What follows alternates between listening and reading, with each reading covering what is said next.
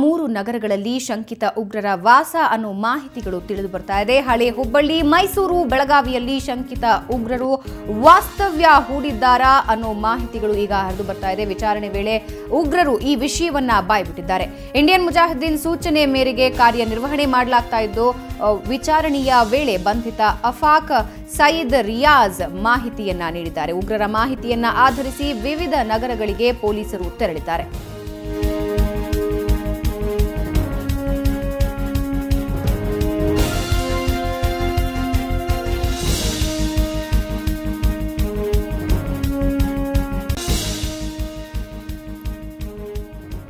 ಈ ಬಗ್ಗೆ ಇನ್ನಷ್ಟು ಮಾಹಿತಿ ನೀಡ್ತಾರೆ ನಮ್ಮ ಪ್ರತಿನಿಧಿ ರವಿ. ರವಿ, ನಿಜವಾಗಿಯೂ ಬೆಚ್ಚಿ ಬೀಳಿಸುವಂತಹ ಮಾಹಿತಿನೇ ಇದು. ಯಾಕಂದ್ರೆ ಸಾಂಸ್ಕೃತಿಕ ನಗರಿ ಮೈಸೂರು, ಹುಬ್ಬಳ್ಳಿ, ಮತ್ತಿತರ ಪ್ರದೇಶಗಳಲ್ಲಿ ಉಗ್ರರು ತಮ್ಮ ವಾಸ್ತವ್ಯವನ್ನ ಹೂಡ್ಕೊಂಡಿದ್ದಾರೆ. ಅಂದ್ರೆ ಎಷ್ಟರ ಪ್ರಮಾಣದಲ್ಲಿ ಉಗ್ರ ಉಗ್ರ ಚಟುವಟಿಕೆಯನ್ನು ಹರಡಬೇಕು ಅನ್ನೋ ಪ್ಲಾನ್ಸ್ ಇತ್ತು ಇವ್ರದ್ದು ಅನ್ನೋದ್ರ ಬಗ್ಗೆನೂ ಸಂಶಯ ವ್ಯಕ್ತ ಆಗುತ್ತೆ.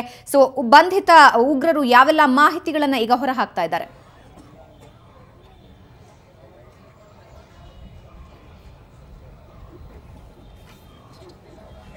ನಿಜಕ್ಕೂ ಕೂಡ ಬಂಧಿತ ಉಗ್ರರಿಂದ ಈ- ಬಾರಿ ಹೊರಬಂದಂತಹ ಮಾಹಿತಿ ನಿಜಕ್ಕೂ ಕೂಡ ಸಾಕಷ್ಟು ಬೆಚ್ಚಿ.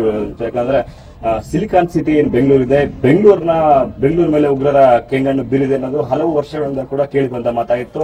ಯಾಕಂದ್ರೆ ಬೆಂಗಳೂರಿನಲ್ಲಿ ಕೂಡ ಹಲವು ಸಾಕಷ್ಟು ಬಾಂಬ್ಗಳು ಆಗಿರೋದು ಕೂಡ ಇದಕ್ಕೆ ಸ್ಪಷ್ಟವಾದಂತಹ ಉದಾಹರಣೆ. ಇದೇ ಬೆನ್ನಲ್ಲೇ ಇತ್ತೀಚೆಗೆ ನಡೆದಂತಹ ಚರ್ಚ್ ಸ್ಟ್ರೀಟ್ ಬ್ಲಾಸ್ಟ್ ಪ್ರಕರಣಕ್ಕೆ ಸಂಬಂಧಪಟ್ಟಂತೆ ತನಿಖೆ ಮಾಡುವ ಸಂದರ್ಭದಲ್ಲಿ ಮತ್ತಷ್ಟು ಉಗ್ರರು ಬೆಂಗಳೂರಿನಲ್ಲಿ ನೆಲೆ ವಾಸ ಆಗಿರೋದು ಕಷ್ಟಪಟ್ಟಿತ್ತು ಈ ನೆಲೆಯಲ್ಲಿ ಪೊಲೀಸರು ಕೂಡ ಮೂವರು ಉಗ್ರ ಸೈಯದ್ ರಿಯಾಜ್ ಮತ್ತೆ ಅಫಿಕ್ ಮತ್ತೆ ಸದ್ದಾಮ್ ಹುಸೇನ್ ಸೇರ್ ಅಬ್ದುಲ್ ಸಬೂರ್ ಒಟ್ಟು ನಾಲ್ಕು ಜನ ಶಂಕಿತ ಉಗ್ರರನ್ನ ಬಂಧಿಸಿ ವಿಚಾರಣೆ ಮಾಡಿಸಿದ್ರು. ವಿಚಾರಣೆ ಸಂದರ್ಭದಲ್ಲಿ ಸಾಕಷ್ಟು ಮಾಹಿತಿಗಳನ್ನ ಬಿಟ್ಟು ಕೇವಲ ಬೆಂಗಳೂರು ಮಾತ್ರ ಅಲ್ಲ ನಮ್ಮ ಟಾರ್ಗೆಟ್.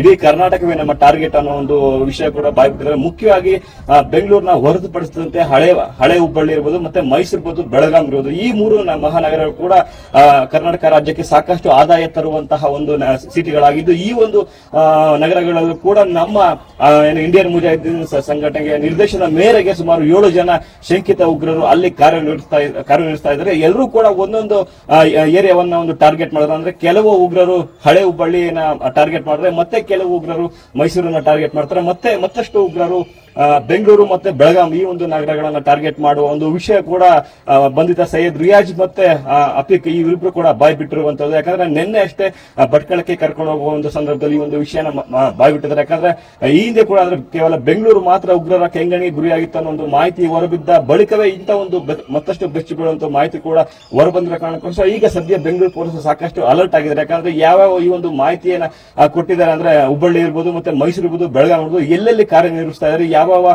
ವೇಷದಲ್ಲಿ ಅವರು ತಲೆ ಮರೆಸ್ಕೊಂಡಿದ್ದಾರೆ ಅನ್ನೋ ಒಂದು ನಿಟ್ಟಿನಲ್ಲೂ ಕೂಡ ಈಗಾಗಲೇ ಸಾಕಷ್ಟು ವಿಚಾರಣೆ ಕೂಡ ತೀವ್ರಗೊಂಡಿರೋದು. ಆದ್ರೆ ಈ ಒಂದು ಪೈಕಿ ಅಂದ್ರೆ ಅಪಿಕ್ ಮತ್ತೆ ಸೈಯದ್ ರಿಯಾಜ್, ಅಂದ್ರೆ ಮಂಗಳೂರಿನಲ್ಲಿ ಬಂದಿರತಕ್ಕಂತಹ ಸೈಯದ್ ರಿಯಾಜ್ ಮತ್ತೆ ಬೆಂಗಳೂರಿನ ಪುಲ್ಕೇಶನ್ ನಗರದಲ್ಲಿ ಬಂದಿರತಕ್ಕಂತಹ ಅಪಿಕ್ ಏನಂದ್ರೆ ಇವರಿಬ್ಬರ ಇವರಿಬ್ಬರಿಂದ ಕೂಡ ಸಾಕಷ್ಟು ಮಾಹಿತಿ ಹೊರಬರ್ತಾ ಈ ಇಬ್ಬರೇ ಕೂಡ ಮೇನ್ ಲೀಡರ್ ಆಗಿದ್ರು. ಅಪಿಕ್ ಅಪಿಕ್ ನಂತರದ ಸ್ಥಾನದಲ್ಲಿ ಸೈಯದ್ ರಿಜಾ, ರಿಯಾಜ್ ಇದ್ದಾನೆ. ಈ ಇಬ್ಬರ ಆಪರೇಟರ್ ಮೇರೆಗೆ ಈ ಏನು- ಒಂದಷ್ಟು ಜನ ಹುಬ್ಬಳ್ಳಿ ಮತ್ತೆ ಮೈಸೂರು ಬೆಳಗಾಮಲ್ಲಿ ಇರುವಂತಹ ಏಳು ಜನ ಶಂಕಿತರು, ಇವರೆಲ್ಲರೂ ಕೂಡ ಕಾರ್ಯಾಚರಣೆ ಮಾಡ್ತಾ ಇದ್ದಾರೆ ಅನ್ನೋ ಒಂದು ಮಾಹಿತಿಯನ್ನ ಪೊಲೀಸರ ಮುಂದೆ ಹೊರಬಿಟ್ಟಿದ್ದಾರೆ ಭಾವನಾ. ಓಕೆ ಧನ್ಯವಾದ ರವಿ, ನಿಮ್ಮೆಲ್ಲ ಮಾಹಿತಿಗೆ.